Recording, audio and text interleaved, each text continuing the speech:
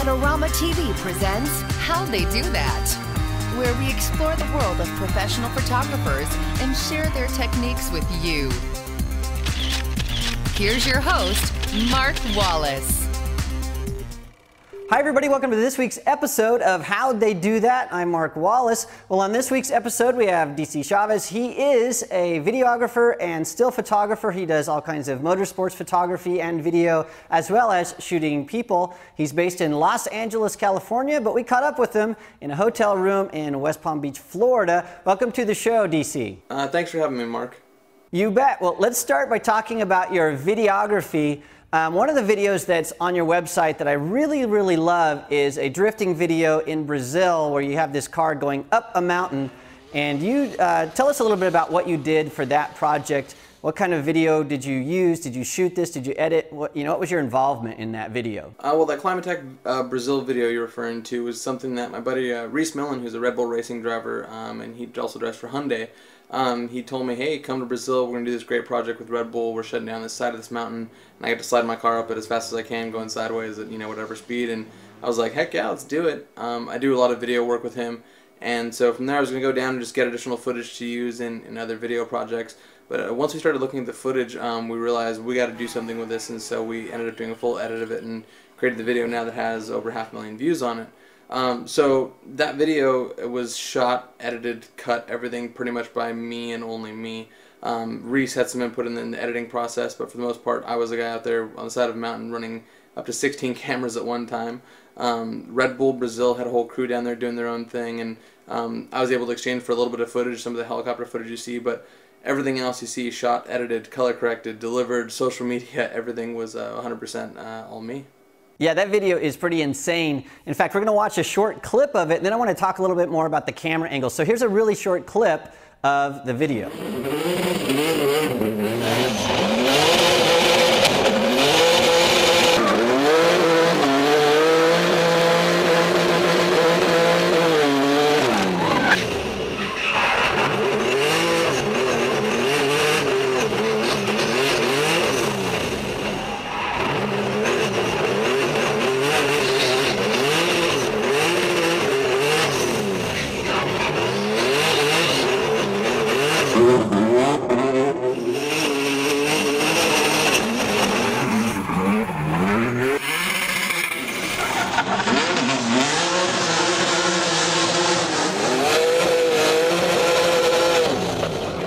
that is pretty awesome. So, DC, tell us a little bit about how many cameras you used to make that video.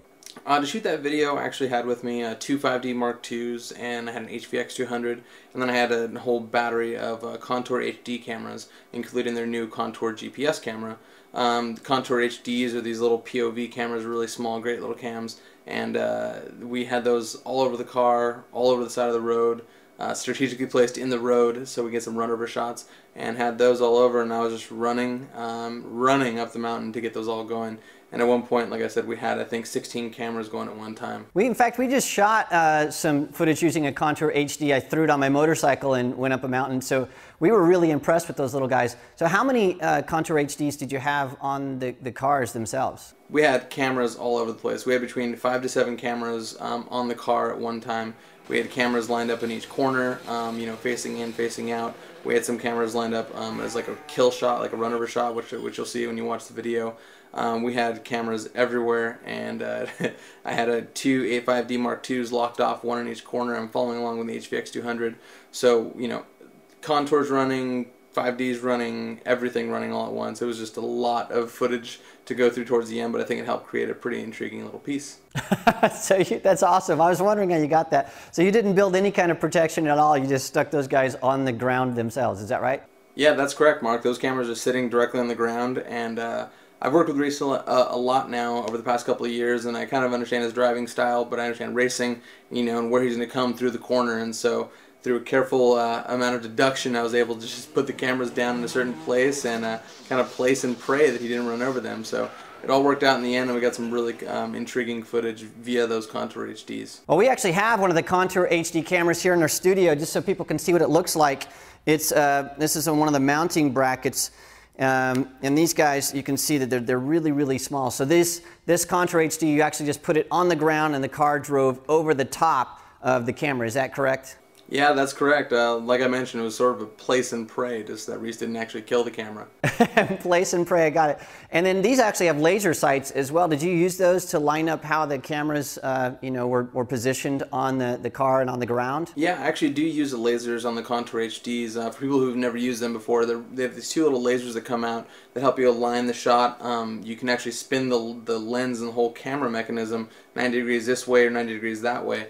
So it's it's nice to have the little lasers to kind of help you frame your shot because none of these POV cameras have an external monitoring option or even an onboard monitor. Um, it's better than anything else out there to at least have these lasers to make sure that you're one level and two, um, you know, you're getting what you want to get in the shot. So great cameras and I use them all the time. Yeah, let's turn one on. Here's a laser shot. I don't know if you can see that, but uh, these are pretty darn cool. So um, any tricks that you learned or any things that you would do differently with that shoot?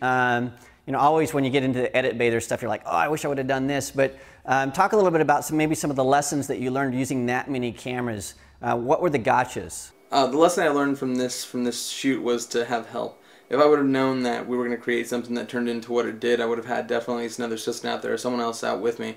Um, but literally, I was sprinting all over the mountain to try and turn the cameras on, get the cameras on the car, turn them off once he got done, you know, get to the next location, back up data, do all this all at one time. So that's definitely something that was a, a definite uh, hindsight 2020 thing. I would have had someone else out there with me. Um, the other good thing that, that I learned from shoots like this is to always be sure to vigilantly back up your data. Um, when I was up at Pikes Peak, Colorado in June, and we had actually set a contour in the middle of a road, and a car coming by like you know 120 miles an hour ended up just running right over and smashing the thing and spitting the memory card out along with it. And with the micro SD card, you know it's a really tough chance of finding it.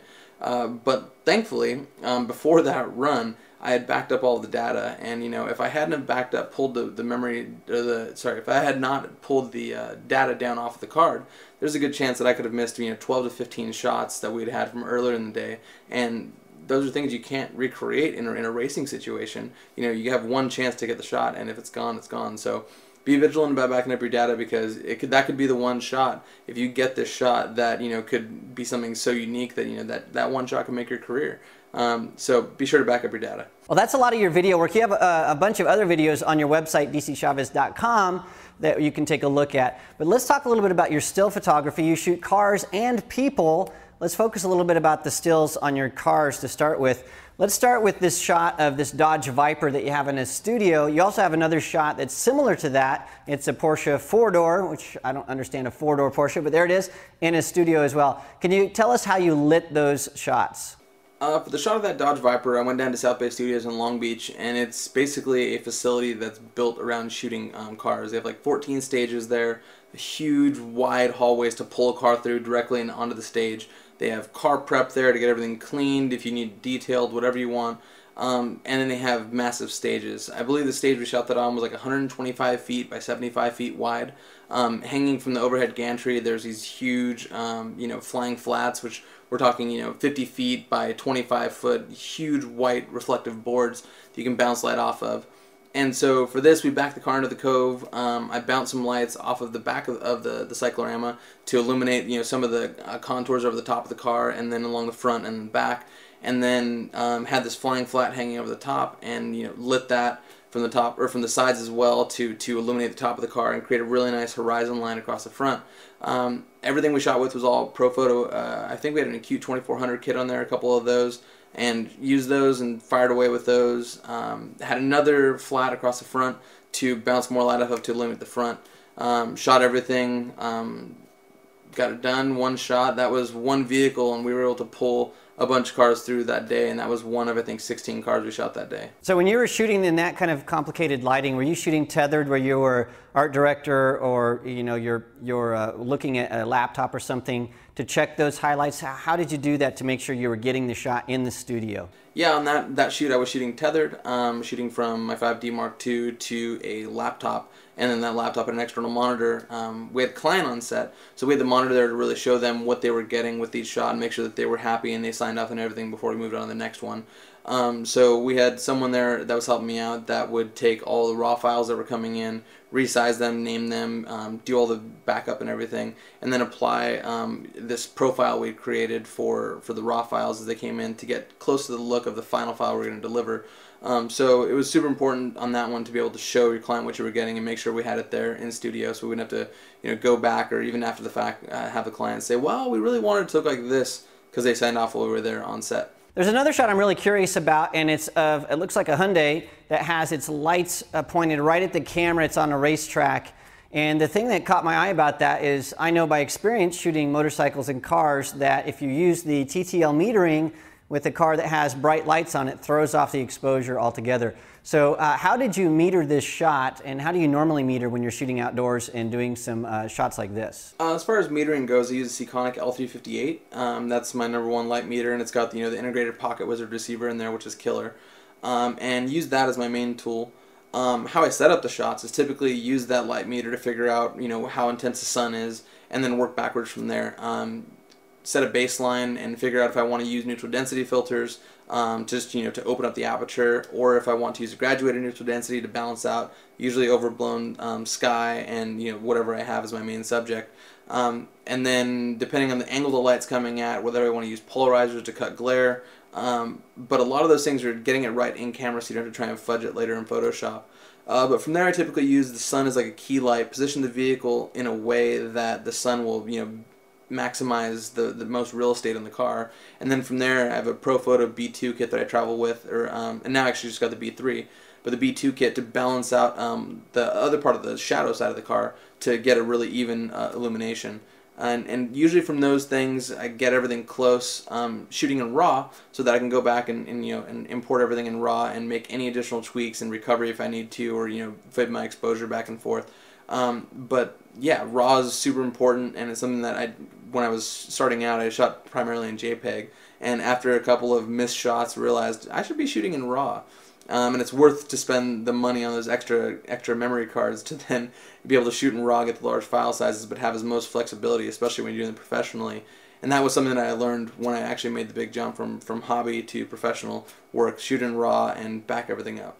well, like you, DC, I'm a, a, big raw shooter. I love it for the flexibility in post production. Well, there's another thing that we have in common that we both love, and that is Profoto light shaping equipment. So uh, I've seen that you're on the Profoto blog. Can you tell us a little bit about um, the Profoto stuff and the, some of the things that you're doing on the blog there? Yeah, I'm actually uh, one of the contributors of the Profoto blog. I'm doing an educational uh, series on light shaping tools uh, that Profoto manufactures. Um, anyone who's used Profoto gear before knows that they make a multitude of, um, of light shaping tools that can change every way that the light is cast on your subject. Um, when I first started photography, I didn't have any idea um, with you know what a magnum reflector did versus a soft light reflector versus an octa versus a hard box it was all Greek to me. And so after a lot of trial and error and a lot of renting equipment and trying all these different things, I finally figured out what it was. And so upon meeting um, one of the guys from the Mac group, the U.S. importer of Profoto, um, I spoke with them and said, "Hey, you got this great opportunity, this great blog platform. Why don't you use Why don't you use it to educate people on how to use your equipment?"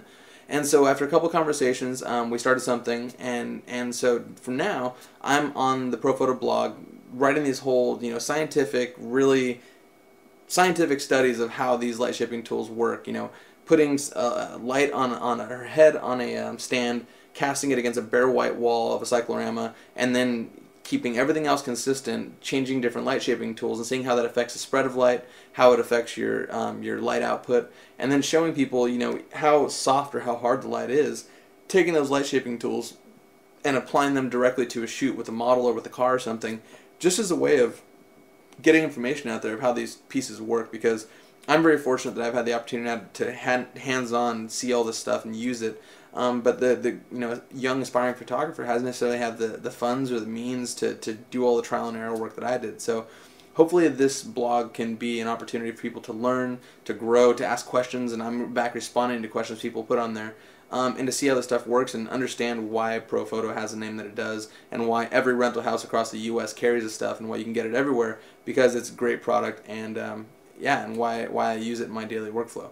Well, DC, you also have pictures of people and a bunch of videos on your website, dcchavez.com. Unfortunately, we're out of time, so we can't look at all that stuff, but people can go there to see more of your work. So thank you so much for being with us today on how they do that. Thanks a lot for having me, Mark. I really appreciate it. You bet. Now remember, if you want to see some of the stuff that DC talked about, you can go to the Profoto blog to see all of those light shaping tools. You can also go to the Adorama Learning Center to see some of the products that he talked about today in this episode of How They Do That. Well, thanks for joining me this week. Remember, if you have somebody that you'd like to see on how they do that, send your suggestion to askmark at adorama.com and we just might have them on the show. Thanks again for joining me. I'll see you again next week. This episode is brought to you by Adorama TV. Visit the Adorama Learning Center where you'll find photography tips and techniques, links to the gear used in this episode, and related videos. For all the latest photography, video, and computer gear, visit Adorama.com. And the next time you're in New York City, visit our store located on 18th Street between 5th and 6th Avenue.